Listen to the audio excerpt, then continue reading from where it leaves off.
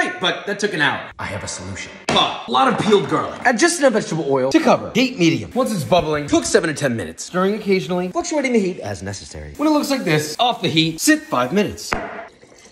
Oh yeah. Here's a little side by side. Roasty toasty garlic. And this is now toasted garlic oil. Use as needed, save and enjoy. You're welcome.